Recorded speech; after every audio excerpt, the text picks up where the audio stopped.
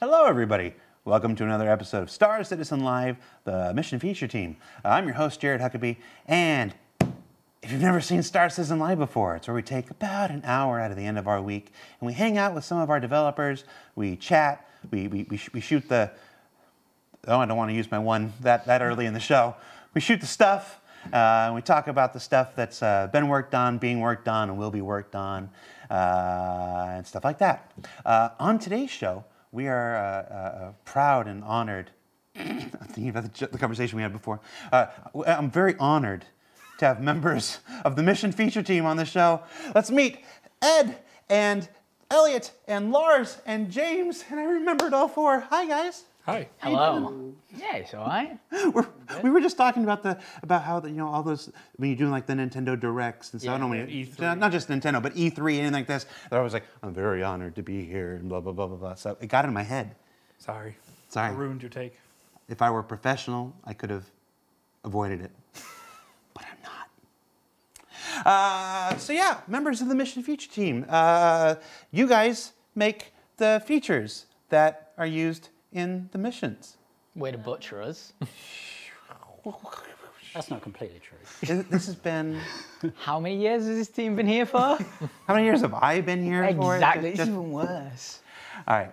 So let's just start off. Let's introduce you. Some some of you folks have been on like like we all know we all know Elliot. We're gonna leave Elliot for, for, for last. You've seen Elliot. He was on Citizen Con and stuff like that. Uh, well, let's, let's go to the go to the people we haven't seen in a while. Some of you we haven't seen in a long while. Some of you we, we've never seen before. Let's start with uh, start with you. Who are you? What do you do for Star Citizen? Right. So I'm Lars, and obviously part of the mission feature team. Um, quite a new hire, relatively. Um, we're approaching one year at this point, and uh, started, yeah, just working on new features that we'll be talking about later, and did a bit of that in the background. Kareah Your Kareah worked a bit on that. Cool. So, Uh, which, which, which, what's your title, Lars? I think Yeah. I think it's official like systems designer two. Yeah. Oh, There's a two Congratulations. behind it, Thank you. the sequels are always better than the original. Uh, We were just talking about Ghostbusters 2 earlier. Ghostbusters 2 is a good movie. Uh, James, who are you and what do you do? Hello, um, so I'm James Tyler. I'm a systems designer too, as well, like Lars. Um, luckily enough to work on the MFT team. Um, I remember when I got offered the thing, and I felt very honoured to join the team that was already there. Um, but yeah, uh, recently worked on time trials, which we'll go over later, I believe. Um, and I also spent a bit of time earlier last year working on Siege of Orison with Elliot. Uh, Ed, who are you? What do you do? And most especially, what is your title? Okay, fine. Well, my name's Edward Fuller, and I am the senior principal principal system designer. Didn't you mean assistant? No, I am not I that. think you meant assistant. No, senior principal system designer on the mission feature team, and I've been here for over about six and a half years on that team, and so I've worked on all kinds of missions over that time, um, and we I also work on the, the law system and uh, hostility system and uh, also dynamic events. So the one that I maintain, look after is Xenothreat um, for V18 as well. Um, and yeah, and there's uh, some other future stuff that maybe we'll touch on. And last and least, Elliot, who are you? Hello. And the more familiar we get, the worse I get. I apologize. all right. So, Elliot, who are you and what do you do for Star Citizen? Hi. I'm Ellie Moby. I'm the actual senior No, principal. no, you're not. I'm the principal designer on the MFT team. Um, I make missions, features, and a bunch of other stuff that you kindly went over all of it. Um, most recently, Siege. In the future, you all know I'm building investigation missions, and I also uh, help Lars and everyone else uh, maintain. I mean, I help their- everyone else as well. Yeah, well, obviously. I help you We 'cause all I'm do. your senior, Yeah, so- well, hmm, assistant. Um, So yeah, we, we we all work together and build a lot of stuff, but I- I'm known for Siege. It's going to be one of those shows.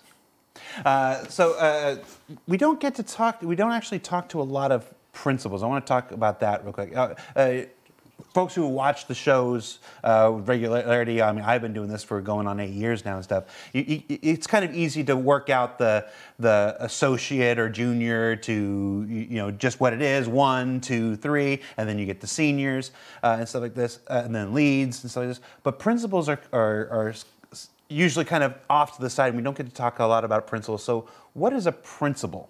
What, what, what does that modifier to a title mean? At CIG, anyway. We'll only okay, speak for well, CIG. I mean, for me, I think principals are they're people who uh, specialize in in the subject matters that they they focus on, um, and they are you know they really know they they they also are very dependable. um, yeah. You hear that, Luke?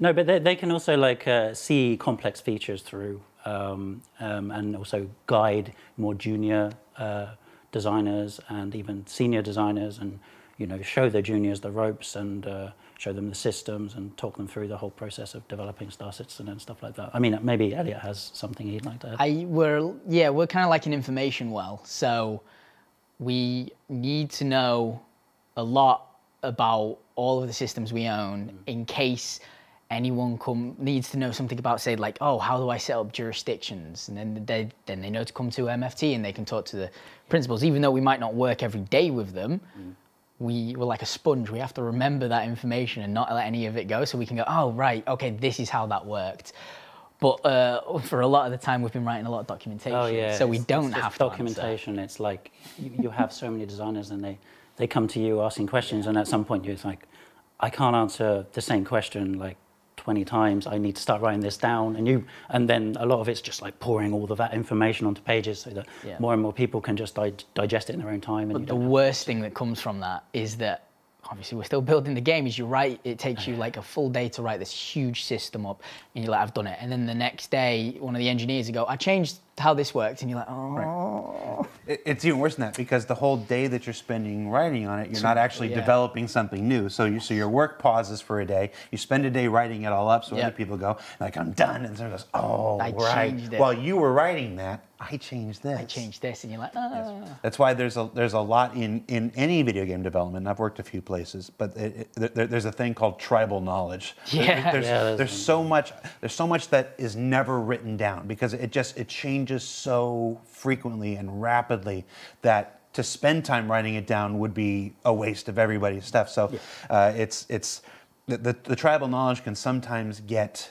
a bit overwhelming, and, and I think that's a big part of where principles, you know, come from. It's it's it's the role that I often fulfill, and on my half of the things like this. It's this. It's just people like, all right, in 2016. We had this thing where we did this, and like nobody's touched it for a while. What is that? I'm like, oh, that's that's this. this. And you can go here and find that, and then you bring it out of mothballs and find out it still works, and it'll solve a thing that you need over here, It's like that. So yeah, it's uh, it's always a it's always a battle between you know you should write everything down, but you, You know, lose the time change. doing when you're writing. And then you, if you know it's going to change next week, you know it's going to change next week. You don't want to waste that time writing it down now when it's going to change, but you Oh. don't know how much it's going to change yet.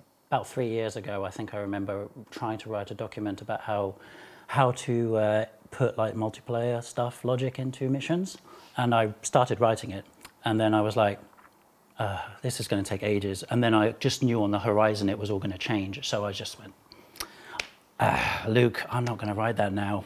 I'm just not going to bother. It'll be it'll be out of date by by by like next week." The page says So- Ask Ed. I just gave up. Yeah, well, we've written it now. Like we've written them now because things are solidified a lot more. But at the time, they, they were not super To be solidified. fair, I've seen both sides of the coin as well. Like when I first joined, I found a couple of little systems where you know I'd go to Elliot and I'd be like, "Please help me with this. I don't understand it." Um, and then he'd be like, "Yeah, that part is tribal knowledge, and you know we're gonna do better, and we're gonna um, write that um, documentation down."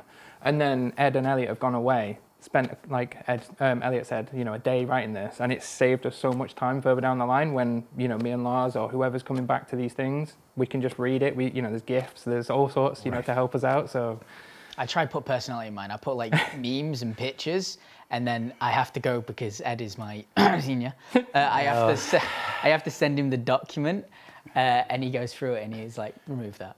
Yeah. And I'm like, I'm not that. I'm not that killjoy. It's just. Uh, yeah.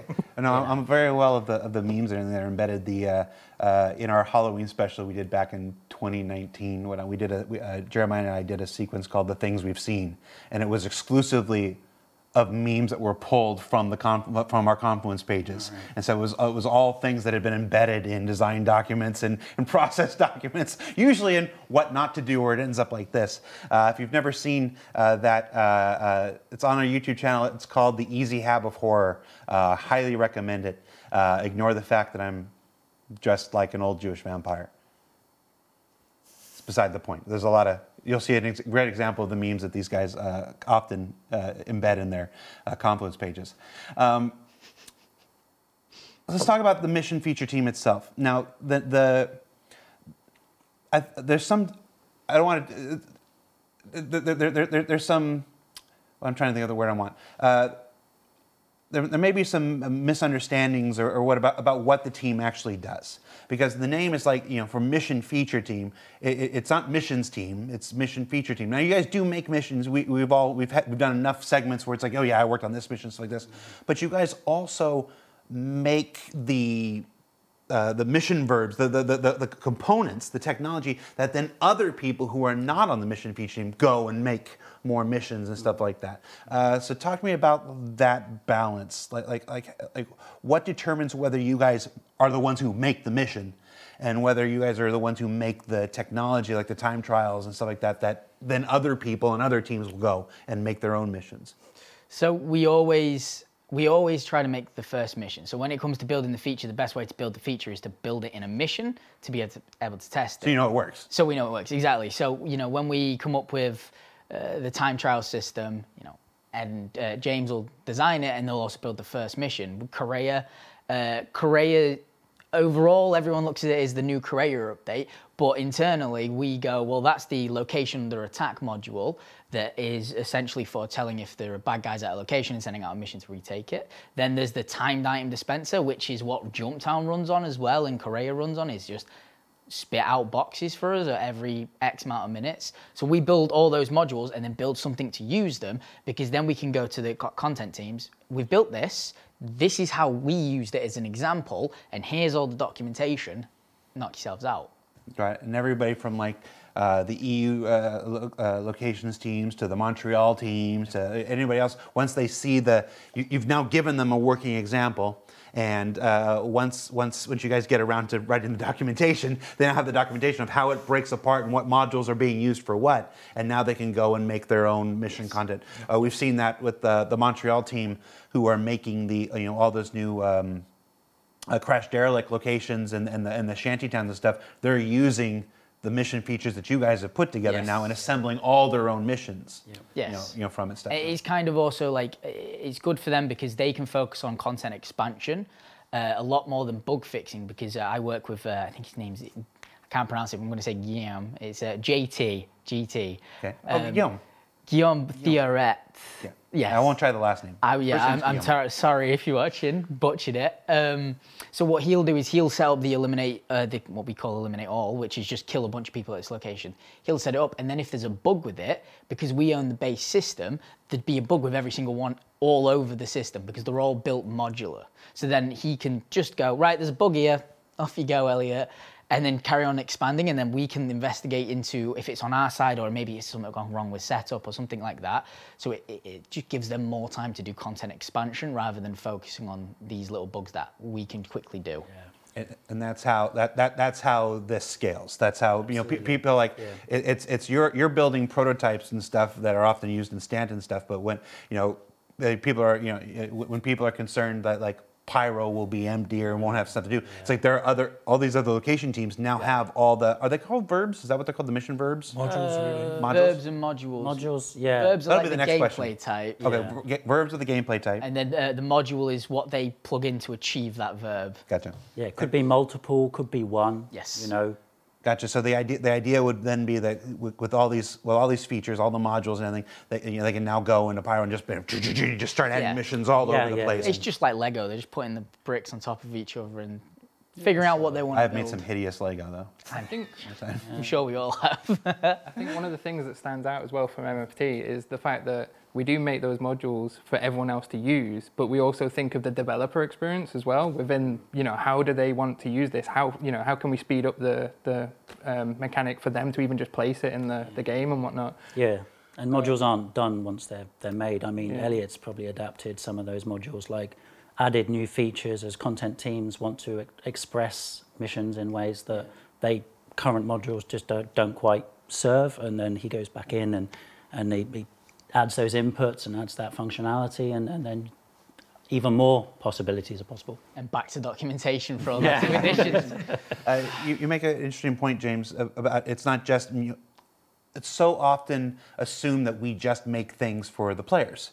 But there are many teams. I, like I loved when I get to do things with the tools team or whatever, and it's, it's about the stuff that we make for the developers. You also have to make this interfaceable, usable by all the teams, and then you will get requests from other team members like this this module is impossible to use. I can't get it to do it. Can- you just can you put a button over here to skip this step? It's like that. I- i- Is there an interface? Is there like a specific interface for the mission features uh, to use the modules? Like like like like if, I, if I'm on the Montreal team and I'm I've got to make a mission. And say, okay. What am I opening up to build it? Is it flow graph? Is it It's documentation. they open documentation. It tells them in which tools they can do what to do what. Um, when we talk about, say, having that developer experience, when you like, for anyone else who opens up stuff like UE5, that is a highly po- uh, polished engine for wide use. Yeah. If any other games company, it is not widely polished. It is make it work and then the devs can usually figure it out and sometimes it is the most horrible or like very difficult to do uh, sort of pipeline however we make a big effort to try and go right well if we put this here and put this here and this here and that here, that's going to make it more obvious. And, and we'll document it like this because they, they need to read the documentation because it's not always 100% clear. So there are little bits and bobs where we'll we'll change how something works purely so on the front end of it for a de- another developer they can go ah that's what that does that makes more sense and we do a lot of heavy lifting on the back end to save them having to do that pain on the front end Some plain English inputs and stuff like that. It's, uh, in the background, it's all like cables. I imagine thing. ch- chances are, over the longer course of development, there will eventually be some kind of interface. Absolutely, Like it does improve. Like Yeah. like the, the tools guys are working all the time Yeah. on making it better, Yeah. and we feed that back to them, and, and they make it better. I've- You know, Yeah, it's, I- it's I got- always I got tagged on Twitter about in the monthly report. Uh, there was a mention of the Subsumption Apollo. Yes. A tool, and they're like, "Hey, will you, will you do a segment and tell us about the Subsumption Apollo?" And I, and I, I went to the AI guys, and I'm like, "I'm like, hey, what, what, what, what the heck is Apollo?" They're Like, it's basically a GUI for subsumption. That's, that's all. It's, Yeah. it's, it's, it's, it's just a little wrapper that sits on top of, of subsumption and let, lets them access it while inside the engine, so they don't have to go to another program. But it is essentially just an interface Yeah. uh, that, that, that sits on top. So eventually there'll be something like that, uh, and, and then and then this will just keep exponentially yeah, growing. yeah, yeah, absolutely. So let's talk about 318. Uh, uh, uh, we'll start with the time trials, James, because we've already mentioned it. Um, the time trials wa- was was a new tech that that, that, that that you guys developed that basically unlocked all of these location teams to suddenly start going, oh, we can now add races here and there and there and stuff like that. Um, how did that come about? Well, as you mentioned, um, you know, un- unlocking those areas for those teams was one of the major goals there. And um, we thought, uh, when it comes to racing, you know, how, how can we make an implementation that can be used in so many different ways? Because obviously the PU is like a sandbox. You know, you want to be able to just plonk this down wherever you want. Um, you know, you want to make interesting locations. Um, so when it came to racing in general, um, we'd looked what came before. So um, we had scramble racing in the past, um, and we wanted something new. Um, and we looked at what people um, enjoy doing, um, and we looked at the community in general as well. Like there's so many amazing racing communities out there. Um, and what they'd done is they had these leaderboards on a website, you know, that people raced around. Now you had to, you know, trust the person had done that in that time, or you know, there was no way of them um, actually, you know, having their times or anything tracked in, in, in officially. Um, so it, we ended up um, coming together, me, Ed, Luke, um, working on this design together and thinking the best ways of basically giving them those capabilities of being able to do that in the game. Um, time trials akin to kind of rallying was kind of the first thing that came to my head Um, I'm a big fan of rallying, um, like Colin McRae and whatnot. And it also kind of benefited as well in a way that you didn't need a million different people in that one location to do the race. You could, if no one else came to that location, still have a fun time on your own. Um, that led us to yeah the current implementation really. Um, we do have some future goals, and I think Ed will speak more on that. Not right now, though. Um, maybe. In the future. yeah, in the well, well, maybe in the future of this show, but it's 318. yeah, but it was it was super fun to make, and um, Ed- Ed being- Killjoy. look at Ed being such a good guest. No, we're on the topic of 318. Keep it. No, yeah, yeah. Keep the show on, Yeah. on track. uh, I'm like Tom Holland, and I'm you know trying to So- spill so- stuff. No, so, but, but, but it's another good example of uh, you know when we were doing the this, this the feature segments on ISC uh, because that story was about the, the physical creation of the racetrack and stuff like that. So you saw a lot of artisan, but it's a it's a it's a wonderful reminder that we can't put everybody who works on a thing in a single you know segment and the stuff. There, there, there's, these are the people who have been who have stepped forward to tell this story uh, today. But there are many folks underneath, from uh, from mission feature folks to tech artists to animators to everything that all make these things possible. and stuff like that. Uh, what else did you work on that's that players can look forward to in 318?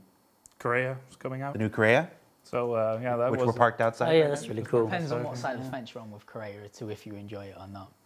PvP fo- focused we tried for, so yeah. some people might not as much enjoy it, but um, this universe is meant to mesh everyone together. So if you got if you don't like it, you've got to try and avoid it or be a good citizen, right? That's the other way. be good. Yeah. Like I said, that's that's the easiest way to avoid it is don't break the law. Exactly. Of course, Yeah, just of course, we need we need the uh, in your jail. we need the hostility system and law system to like always work. I mean, we, we You- are you- You, always you, active you- on you- you can't put you can't put the emphasis entirely on the players. We are Can you always bad? We're Those are count what I'm you're systems, they are It- it- systems it- that belong to us, and we do constantly monitor and look at those. Yeah. Luke is constantly Right, on yeah. Spectrum. We're always on it. You'll probably see his blue little avatar pickled at random. Hey, thanks. I'll look into this. Yeah. So so so when it's all like perfect and operating, uh, then we can blame. Exactly. And until then, you know, we share we share a Yeah. little. Hey, if you got a problem, at Luke directly. Yeah. Uh, Pickled at random on send your letters attention to Luke Pressley. Pick your- Yeah, he's I know he's watching right now. I'm sorry, Luke. Pick your target. Sorry. Uh, what else is in 318 that you guys worked on?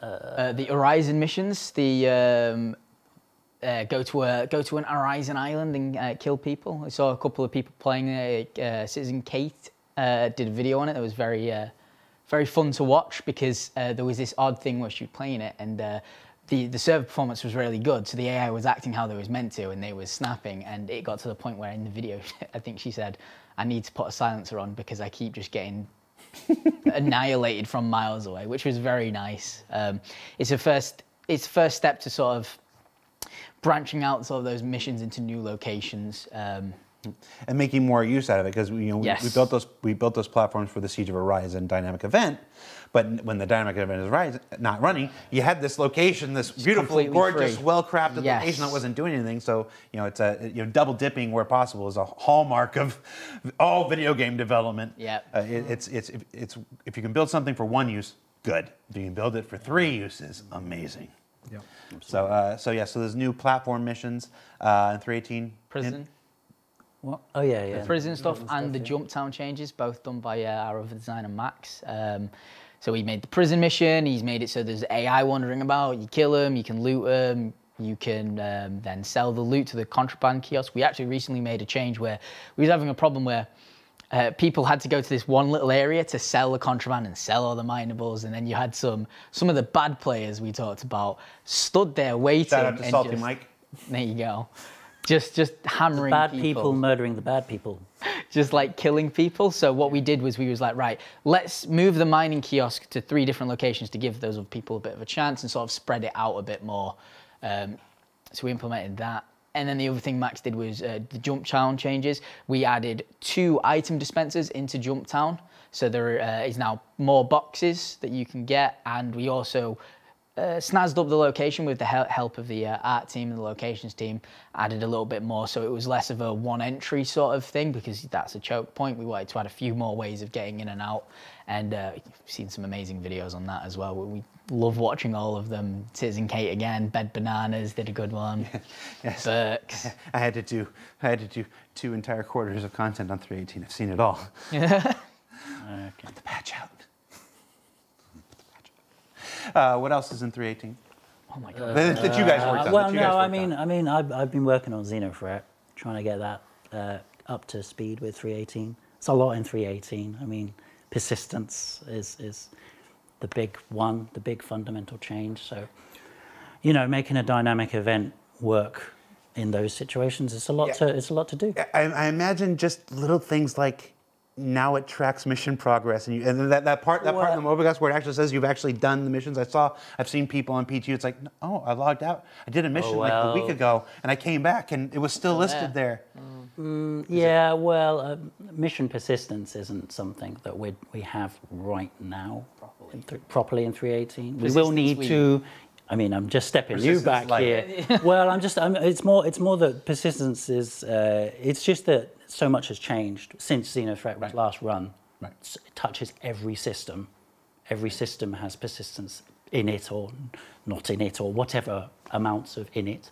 I might be Um, but wasn't there a bug like oh, previously because of persistence where if the javelin was destroyed, its records stay there, and then the other javelin was trying to come in? Right. I don't know. I think that sounds No, like a I, I bug we saw, I haven't saw seen. that. No, I, Oh, I saw that. Yeah, the javelin yeah. stayed, and then the next javelin came and in. came in Uh, like once we have that with uh, right, we had that with the AI reinforcements that land. They land if you blow that ship up, the other one just like, well, I, I'm still gonna try land there even though you still exist, and yeah, it's a fun thing to battle. No, we, we will be seeing the changes mandated by persistence for the for the next year, for the next two years. It, it's it's all these things. Everything everything up to this point was made for the game in a certain state, and now with persistence, there's all there's changes to the AI. Like, hey, if there's already a crashed ship there, you know, because it, it didn't have to worry about that Yeah, before. yeah. It's like, oh, maybe we don't land there. Landing there is a bad thing.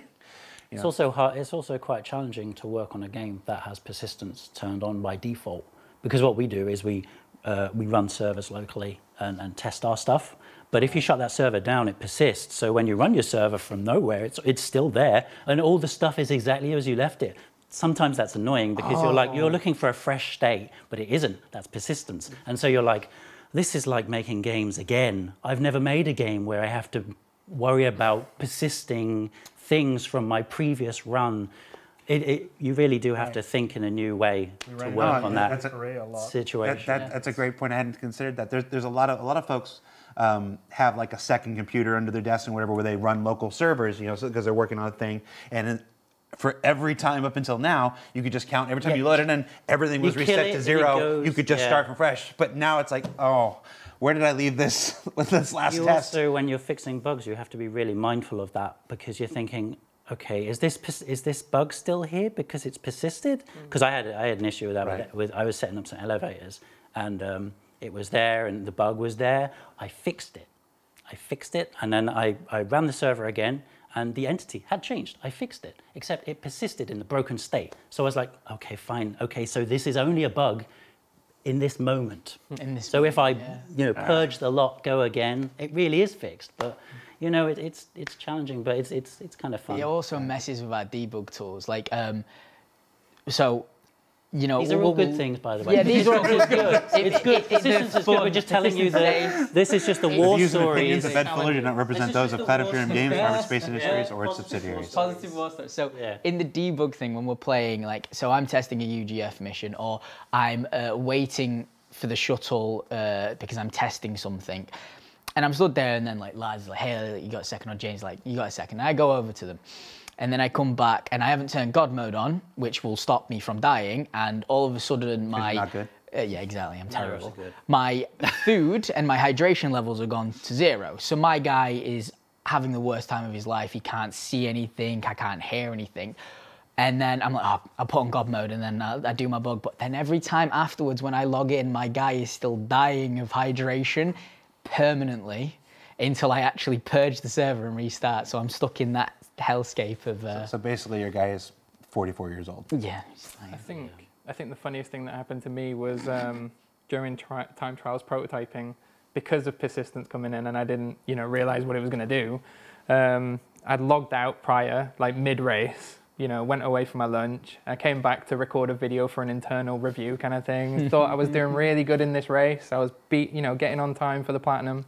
And then um, all of a sudden, my wreckage was just at the end of the race, and I just smashed straight into myself, which you know ended my, my race prematurely. That wreck from the previous plane. yeah. On Kareah, we actually were debugging it, and all of a sudden we fly in, and there's three of the the chief of security. They're super bosses. They're super tanky. So I come in there with a pistol just to test something, and there's three of them. Like there he is, and I just got lit up instantly. It's like that's a problem.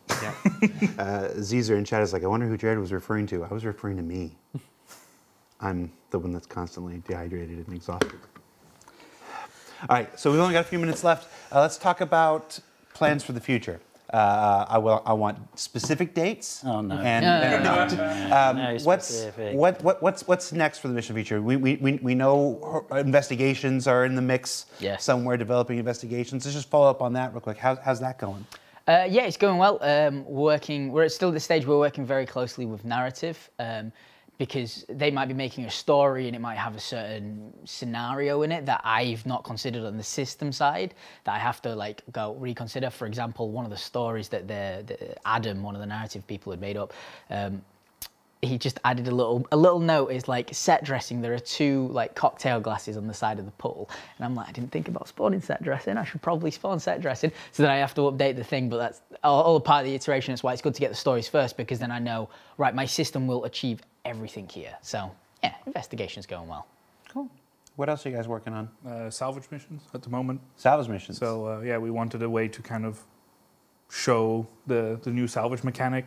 So uh, yeah, I'm currently working on some different like different legalities and versions. and of time. them Sure. for it. Uh, so there's a legal version where we have a, a new company that's being made. I'm not sure if I can call it. Yeah. Uh, it's called Adagio, and they're literally just salvage contracts. So they have just they have a bunch of salvage, and they sell you the rights to a piece of salvage. Like you pay us like X amount of credits or uh, UEC, and then like that's like here's your lot number. You can go get it there.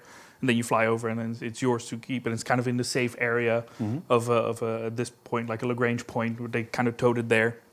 Then there's the um, illegal version where basically uh, another an illegal corporation, a new one called the Tar Pits. Um, they're like, well, they hear about salvage, and they're like, well, you can go there, but we know that um, security forces are going there to investigate what happened. You have an hour. Good luck. And then you basically have to race there, and once you're there, like, you have an hour. You have timer on screen. And if you're staying there too long, well, then all of a sudden, like you know, fighters come in or like other investigative forces, and if you know if you're in a, a vulture, for example, well, that's is not really good at combat. And we're actually uh, trying to get a, a mission giver, which I won't spoil who it is. So have fun trying to discover that. But a new mission giver, we're gonna give him uh, him or her some love, and they're gonna actually do a kind of a, a mini rush where it's like, well, there's been a massive battle somewhere in the middle of space.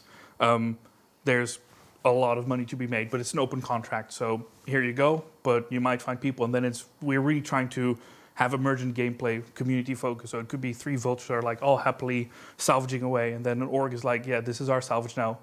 And they come in with like a reclaimer and like a whole combat suite. It's like, okay, kids, move aside. This is ours now. Uh, just to every time there's a question about a mystery mi- mission giver, chat goes Tessa. Tessa's coming back. Who's It's Tessa? not. Yeah, it's not Tessa. These guys don't know who Tessa is. That- Tessa? That, predates these guys. not true. I wasn't even Doesn't born. No, Ed, no, Ed, Ed, Ed. Ed, Ed, knows who. I've Ed knows, who- Ed Ed knows knows who Tessa. Tessa is, but it's not Tessa. They, they've got a thing for her. Her time will come eventually. It's actually three picos in a trench coat.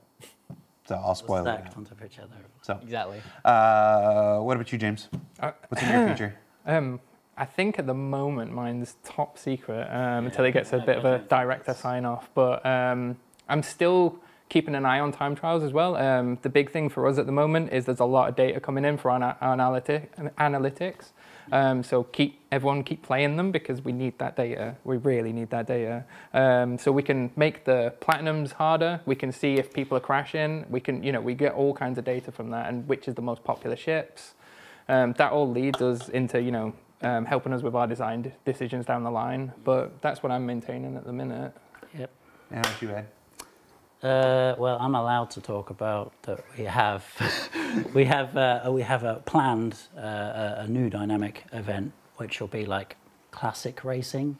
So it'll be like, uh, like lap-based racing, and it'll be uh, multiplayer. So time trials is single you against the clock, whereas this will be like people together, racing together. A racing dynamic event. Yes, exactly. Yeah, exactly. And and the, the plan is to have uh, we'd we'd have maybe two new ship tracks and maybe a ground race um, in there as a mix, and then we'd we'd also uh, limit it so that you'd have only a specific ships or ship would be allowed to race on the race day.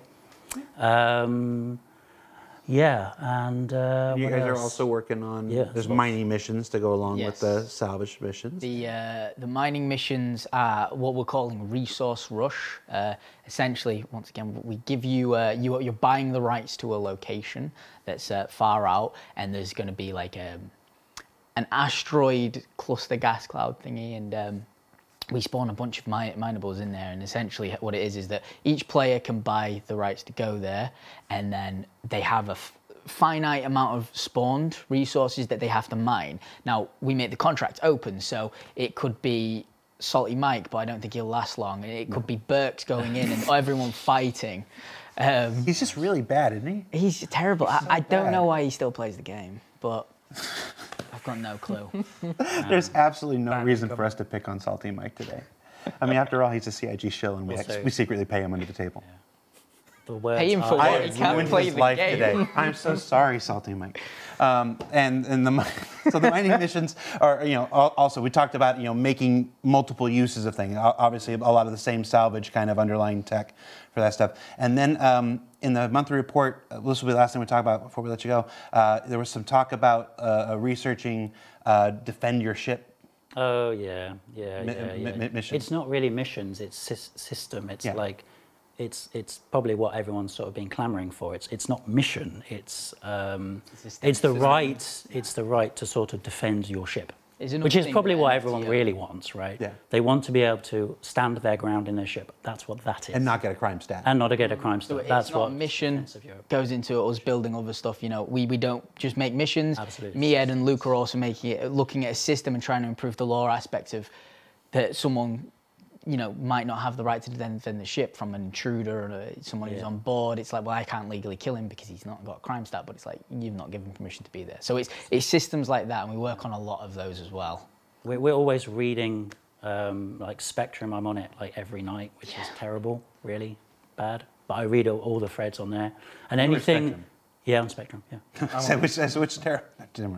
Yeah, and, and Reddit and, and, and the other ones. And we're just I'm always like zeroing on the ones that map uh, that things we own, like hostility Yeah. and law, and and then we're always just picking them up and sending them in. And the next day, our embedded QA are just going through everything we found and. And we're just always trying to improve those systems and make them better. No, I'm, I'm actually really glad you said, you said there, there, there's, there's, al- there's always this, there's always this persistent kind of narrative out there that, oh, they only listen to the streamers, or, you know, we, we've, we've thrown a lot of shade at Salty No, we. We only listen to the streamers or the YouTubers or whatnot. So it's, it's, it's heartening. You know, I made a joke, but it's, it's heartening to know that there are, uh, you know, uh, uh, devs, individual devs who are still going to the internal forums and, you know, reading the things that people are posting. It's really interesting. I, I love reading the forums. I mean, there's a lot. There's there's everyone's got a voice there, and um, I can't respond to everything. In fact, I do respond very occasionally, but I don't because it's not in my wheelhouse. I'm not the authority on it. That sort of reason is the Yeah. why I can't respond. And even if I am sort of the authority. I'm not really sure what we're going to do, so I can't Yeah. really answer it. And we- so and we but talked I can about still how- read it. you don't always have the time to write your documentation. It, the time spent writing This is replies outside. time That's not. outside of my Yeah. work hours. That's that's stuff I do in my own. gonna I, say. I, oof. Sometimes I'm sat at home um, at the work desk eating my lunch. Um, probably shouldn't be at the you know my desk eating my lunch on, on lunch, but I'm scouring through Reddit myself and I'm just typing in race and then re- eh, if you if you said something that has the word race in your comment, I have probably read it in the last month. Um, need to it's the set- good and the bad, you know. what I mean, You you set got to proper boundaries, work-life balance. I need to set a little alarm. I to just- stop reading. Talk about Luke. I'd like to see this mentioned in his uh, quarterly review.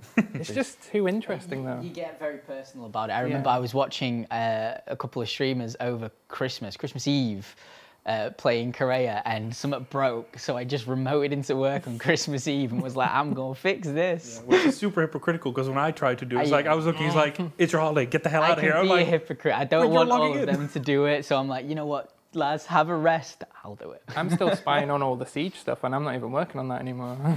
I just want to see what people's feedback are. So if we learned anything this week, it's that game devs have poor work-life balance and It's because we fail to draw play boundaries. them, or we build them, or we watch them. No, it's it's it's heartening to hear that you're so dedicated.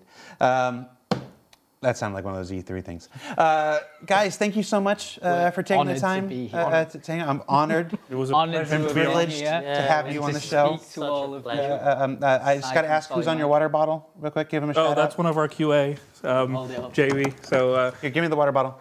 Take it up to the camera. So, yeah, Uh, uh, no, it's, uh, Tom, do we have my close-up? we uh, do we have my close-up? our embedded QA have There this kind of thing where they kind of keep uh, screenshotting people during uh, Microsoft Teams meetings, and one of our QA started editing that, Jamie and Dubuisson. and uh, the emote is from a from a streamer I really Couldn't enjoy. be here, but he's on your your. He's there now. Hydration. All right, that's Elliot, Lars, Ed, and uh, James. And uh, I'm Jared. We're going to take a short break, and when we come back, uh, the mystery of the Elmses. What does that mean? You have to stay tuned to find out. See you in a minute.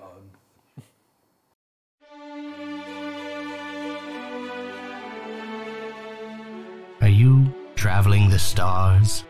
Exploring the galaxy? That's lonely, lonely, hungry work. Always remember though, Big Benny's with you. Big Benny always has your back. Big Benny. Eat his food.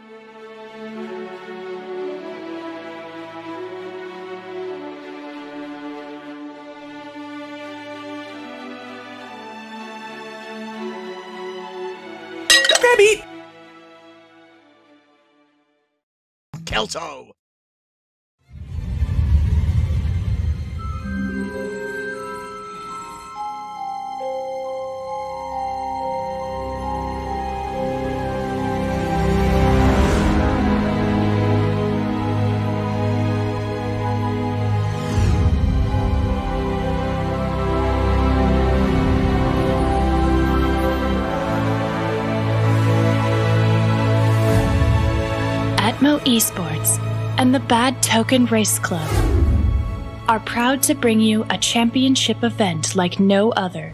The Stanton 7. This exciting rally circuit pays homage to Earth's classic rally and Formula One traditions, pushing drivers and their teams to their absolute limit across some of the toughest terrains Stanton has to offer. Qualifying teams will push through seven individual races located across the system from the isolated moons of Crusader to the bustling city centers of Hurston and Microtech. Each race, pilots will control a featured vehicle from the rugged Drake Dragonfly to the lightning fast Tumbril Cyclone, navigate perilous terrain and conditions, as well as one another. Racers will face off on Magda, crashing through mountain passes and dusty valleys. Wala, where jutting cliffs and deep craters force pilots to thread the perfect line. And Clio, where one wrong move means plummeting into a lunar sea. Racers will pick up individual wins across the races, but only the team with the highest overall standings can claim the title of Stanton 7's champion. Sign-ups begin soon. Get your crew together and join us for the Stanton 7. You won't want to miss it.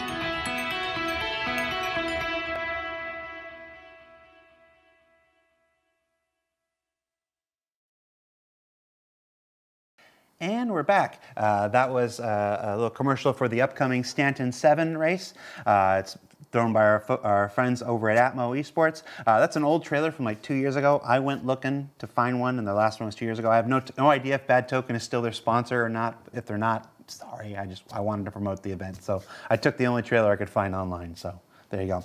Uh, before we get to our next guest, I want to start. A, I want to do a, thing. Uh, I get messages on uh, Spectrum and Twitter. People are always asking about the the random stuff that are around us that make up our set. Uh, I want to take a minute to showcase something uh, that you may not otherwise have noticed or whatnot uh, each week. Uh, this week, I want to talk to you about this. Do we have my close up? This is uh, Hunter, the Star Citizen comic, uh, comic by Adrian Atisor. This is actually a fully illustrated comic set in the Star Citizen universe. Uh, it was create, It's written and drawn by one of the OG uh, Star Citizen backers, a guy named Adrian Tizor. Uh, this was uh, uh, produced uh, in conjunction with Crash Core, uh, a, lovely org out of Germany. Shout out to Crash Core. And it was originally uh, printed up and given away at our Gamescom uh, 2015 event. You can see the Cologne Cathedral here depicted in the futuristic year of 2945. So these very limited. Can't get them anymore. I'm amazed mine still survives, but it's very close to my heart and one of the first things I got to really put in motion here when I got hired into Star Citizen. So shout out to 80 uh, if you're watching. I haven't talked to you in a while. Uh, all right. Joining us on the show now, in the back half of the show, we like to, you know, we, we, we do all the information and the business in the front, and then we have the party in the back. It's, it's, we're essentially the mullet of Star Citizen. Uh, joining us for, for the mullet is Robbie, uh, Robbie Elms. Say hi, Robbie. Hey, everyone. And Nick Elms, no relation. No relation at all. no association. So, uh, uh, uh, Robbie and Nick, uh, who are you and what do you do for, for, for, for CIG? well, I'm Nick Elms. Um, I'm a creative director now responsible for the flight side of Squadron 42. And uh, yeah, uh, I'm Robbie Elms. I'm the lead designer on Squadron 42, specifically the flight sections. Gotcha. Now, this is where I do the biggest disclaimer I'm going to do. We are not talking about Squadron 42 today. Swan to secrecy. Hey, hey, quiet from the peanut gallery. The, you, you, this, there's no conversation about Squadron 42. That's not what we're here about. Uh, if you're upset, send your letters to Salty Mike. He's somewhere in Florida. Uh, you were on the show. Uh, you were on the show this week because you're folks that we don't get to, to, to, to see a lot of, to talk a lot of. But uh, you have something unique amongst most people in, in, in, at CIG. You are actually father and son. Yes, yeah, we are indeed. Yeah. In fact, we, we've started to work together uh, probably, was it 2011 or something like that? Yeah, 2010, so, 2011. Yeah, been work, working together for uh, 12, 13 years now. Long time. Uh, I, am going to ask Robbie this first. How is that? Are you okay? The worst critic. the worst. No, no, it's good. It's frustrating at times, of course. It managed to turn me back into a teenager with a lot of the feedback, but uh, strop, little strops every now and then. Yeah. But uh, I see it's from a good place. And and Nick, how did you? Uh, was it you who brought Robbie in? Did Robbie bring you in? Who, who got here first? I, I, got I got here first. Uh, I was working with Robbie, uh, sort of going back to TT when uh, we were doing the Lego games and things, yeah. and uh, I thought, right, you know, why, why have a dog and bark yourself? Uh, I'll uh, I'll bring him across here. Well, I remember there was like no hope for me as like when I think I was four, you got me a Sega Mega Drive. Yeah. It's like here, here's X Men, here's Street Fighter, get good, and just no hope from there onwards. I got hooked on games, and it's that was my excuse for research. Though when you were a kid, used to come yeah. in, you know, the uh, the Nintendo 64, play no, GoldenEye. Well, that's it. And, uh, that was my that was my birthday present, and I woke up to him playing GoldenEye, and he's like a Bill Murray moment, like. No one will believe you. Kind of. Tell your mum. yeah. It's research. Yeah. It, it, it, it's a meme. Uh, we're not. Gonna, this isn't a GoldenEye promotion thing, but it just had its uh, remaster released on, on, on, consoles. But it's a, it's a meme online about that pause music. But that really was that pause music was. It went harder than it had any right to. More, yeah, exactly. It's. I have. I've seen, it was, I have many strong memories. The watch and it says drop in. Yeah, uh, uh, set set to that pause music. Um, how did so? So that's how you. That, that's where you got your kind of start and, and, and inspiration of gaming. Yeah. Nick, how did you, of everything that you could do with your life? I, I, well, started off working with Chris. You know, we, we were kind of sort of you know, just finishing school and just playing around with graphics on the BBC Micro. And uh, you know, he, he was doing uh, his games, Stryker's Run and Match Day, and kind of said to Phil and I, because uh, we were all we all like doing art, we all did art at school. Uh, he said, "Come, you know, draw some pixels. Let's let's let's do some stuff on here." So we did that all of a sudden he's driving around in a really flashy car. And Phil and I looking at each other going, what, what, what's happened here? And he's like, you know, sold this game. And he's like, yes, what did this? And, you know, he's, he's minted. Um, so then we sort of cottoned on to this and, uh, you know, sort of Chris hung around for a bit and then he went to Origin and, uh, you know, obviously the rest is history. So you've been with Chris for a long time then? Yeah, well, I I, um, I went to training. I, I, I, was sort of on the tech side and I was training um, companies. I was one of the sort of only authorized Autodesk trainers of 3D Studio. So I was going around to games companies um, in the area, training their staff how to use 3D Studio. Uh, one of them was like a company called Rowan Software, which did a lot of flight simulator games. So I was teaching them how to build planes, and I kind of got, well, I can, I can do this. I can do this for a living. So um, came back to the UK, set up a studio for EA, and pulled a load of us in, and that was me in the games industry from there on.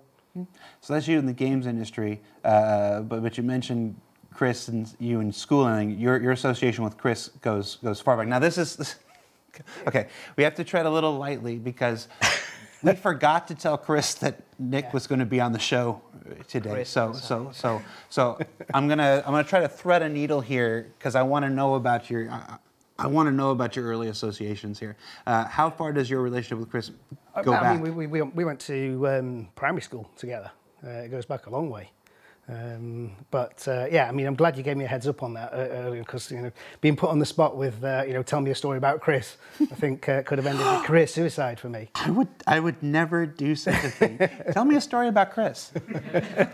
Uh, uh, just- One, one, one that hopefully won't get me fired, and I think you know anyone who's obviously seen Chris will, will, will probably uh, you know attest to uh, it's, it's, it's fairly accurate. It's, uh, go back to when we were like sort of 15 or 16 and we used to play D&D. Um, Chris kind of got bored with the wooden delivery from the DMs. You know, you'd be in a room and somebody drove in on. It's like, you know, this needs more immersion, needs spicing up. So we got this idea to bring his friends in to do voices for the creatures. You know, writing a script. Um, he's, he's getting sounds like rain sounds and stuff, or wind sounds in the background, and he's having us all doing these crazy, like you know, orc voices or uh, dragon voices and things like that to play as a, a tape recorder while, while he's DMing. Right, this is long before the internet, and you know, there's all kinds of resources for that this, now. But yeah, this this is like you know, well, I, doubt, I don't say how far back it is. Probably about yeah, about 40 years back nearly. so, uh, so uh, uh, I, I'm, I'm going to keep pushing. What, what kind of, what kind of DM was, It- was it- Chris? It was it was fantastic DM, but the thing is, I think it only went for about three sessions because it was so work intensive. You know, like I said before, we were all quite good artists at school, so we're even drawing uh, you know concept art for, for environments and things like that, just to sort of like have the maximum amount of immersion um, for, for this game. But yeah, I think we got about three sessions in, and everyone was like, "Jesus, this is too much work." it's, it's like a job. We're only at 15. but uh, yeah, it was an experience. I think everyone who played those campaigns, uh, you know, even for three sessions would remember it. Certainly Aaron and, and my younger brother Simon, who's uh, the fin- financial. Yeah, I was going to say, you, you, you, you- you brought Simon into this, so let, let, let's, Yeah. let, let, us go ahead and mention this. Uh, it's not just Robbie and, and, and, and Nick who, who work here at CIG. Simon is also a member of the Yep. team here. He is. Yep. He's yep. He's the Throw a stone, you might hit Financial Helms on director. the floor. well, well I, find, I find I only run into Simon when I've done something uh, expensive and bad. Yep. Uh, You know, it, it, my, my, my only interaction with Simon has to come with like, "You're building a spaceship." how much I'm like, "Hi, Simon. yes, we're building a spaceship." really? I'm like, "Yeah." I feel I'm partly responsible for that as well because I, I used to sort of steal his pocket money when he was a kid. So uh, I think that drove him into accountancy. it was the only career he could uh, could go for. Are, are there any other Elms this year I don't know about? Well, Jamie was here for a while. had, yeah, my younger brother was QA for a summer, wasn't he? Before we Yeah. exiled him to Australia. Quitter. and New Zealand. Twitter. He's been to New Zealand. He's been in New Zealand for the last 5 Didn't, years. didn't cut it. So um, uh, you're here. Yeah, you're, you're here. We, we talked a little bit about your history with Chris. Let's let's talk about uh, uh, you. You've now been here since the UK studio opened. Ten, ten years nearly. 20 nine months. 2013. No, nine years this month. Yeah, me. you, you just had your, yeah, your nine year this month. anniversary. Yeah. Yeah. Uh, um, what's what are your uh, um, again? We're, we're, I've I've got this. You can't see it, but I've got the angel and the devil on the shoulders here, and there are things I want to ask and things I want to push for. Just this yelling in my ear, and I'm like, I'm like, no, you. you you need this place. You just moved to the other side of the world. Stay employed. Um, uh, uh, uh, when I when I ask what's your favorite story from your time here, you've been here ten, you've been here nine. Uh, what's the first thing that comes to mind? It doesn't necessarily have to be your favorite, but when I ask that question, what was that first story that just popped into your your head? I think for me is because we have essentially here from the ground up, near enough, Mm-hmm. is when we first got. And this is not just even squadron related. When we first got quantum travel working, and it's like, oh my god, we can, we can achieve this kind of moment of like, oh, the scale of what we're going at. That was like when the penny dropped for me. Is like, we can do this. It's going to be great. That's probably my story. Yeah, I'm, I'm might as well going back to uh, you know when we first started to get some of the rushes in from the uh, you know the actors and the, the the sort of the, the team that Chris assembled was just mind blowing. Uh, and seeing that coming in, and then seeing the amount of it that was coming in, and going, "Oh my God, this is going to be huge!" It's like hours and hours of it. Yeah, uh, uh, it's so impressive. I, I, those two moments, I actually have stories about both those two moments. When, when the when when Quantum was first uh, was first introduced, and then we uh, uh, we were in the testing, uh, somebody had had a, a, a, a ship inside the other ship. I, I can't remember what the ship it was at this point, and somebody just got the idea. What happens if we try to leave in the middle of Quantum? And like everybody, everybody around was like, we have no idea. it's like we don't know what's going to happen. And we and got in while, while, while the- and got and disembarked from the ship in the first quantum, and that ship stayed in quantum and was flying with it. And it's like, holy cow! And it- it's just you build these systemic y- y- y- you know things and there's what they're intended to do and then there's what you discover they can do along the way and it's a huge part of game happy development accidents. that was a, that was a huge moment Yeah. uh, uh, for me. And then you talk about the performances in Squadron 42. Uh, a moment I will never forget is in the LA studio when we watched the first rush, the first assembly of the, of the Bishop Senate speech Yeah, before. CitizenCon 2015. It was all still black and white and white box and barely animated. All you really had to go on was Geoff Zanelli's music Yeah. and Gary Oldman's performance. The Vandal, and I like I just remember seeing like the hair start start start going start going up on the uh, on, on, on and there's a.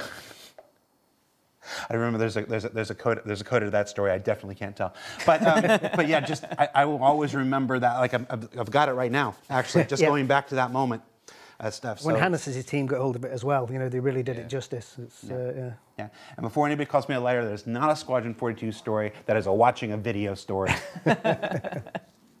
uh, so yeah, so I mean, that's that's pretty much it. We're actually uh, pretty much out of time. Nick, Robbie, thank you for hanging out with us. Is, is there anything you don't get a whole lot of opportunities to to, to talk to the community, interact with the community because you're you're on the you, you, you, you're hidden in the Squadron 42 dungeon on the eighth floor. uh, um, is there anything? uh, ju- just about your experience in CIG. You've, you've been to Citizens Cons before. You've been to Bar Citizens. Is there anything you want to tell the community while you have a while you have a moment here? We're just so grateful for the support. Uh, you know, what, what you guys do for us is uh, it's amazing. I think Salty Mike's had a bit of a rough time during Yeah, the we stream. were saying before, yeah, He- you've been he a bit paid hard me a compliment once, so I've not forgotten that, Salty Mike. I've got a head of lettuce, wha- whatever that means, but I'm going to take it as a compliment. It's I, I, I want to point out that my job is to make the shows. I, I, I, host these things for like one and a half hours every week. The other 60 plus hours is done with all the things that go into me. I'm not a professional TV show host. Um, uh, and, and so the moments where I just get stuck on something, hyper focus on something, I'll just drive them into the ground. I apologize uh, to Salty Mike and to any, any, any trauma or, or, or dismay uh, that may be caused by you being bad. All right, so for Star Citizen Live, uh, Nick, Robbie, thank you so much uh, for taking your time uh, to hang out with us. Uh, folks watching, if you haven't already, uh, be sure to check out yesterday's uh, uh, Inside Star Citizen with a look at the Arena Commander feature team. All kinds of stuff coming uh, to Arena Commander. Some are in 318, the Dying Star fixes. Uh, uh, the, the majority of what you saw is coming in a, in, in a patch uh, uh, later this year. We, we can't quite predict where because we're still trying to get 318 out, and then that's going to affect all kinds of branching things and stuff. So, so we know it's coming. We just can't quite pinpoint where it is. But as soon as you know, we know, you will know. Uh, and then uh, tune in uh, next week. Uh, next week uh, is our next Journey to 4.0 special uh, which, we, which was an initiative we started back at CitizenCon last year. Uh, we have uh, lovely, lovely Ian, the art director for Star Citizen Live, uh, presenting to you the very first look inside building interiors. These are the new modular uh, uh, creations that are going to help us populate the commercial buildings of ArcCorp, Area 18, of, of Lorville, of uh, Orison, uh, you name it. So uh, stay tuned to watch that. And even Microtech actually I was like, Which one am I forgetting? the cold one. So yeah, so, so tune in for that next week on Inside Star Citizen. Uh, I'm Jared Huckabee. Uh, this is Norman. And uh, we'll see you next week, everybody. Take care.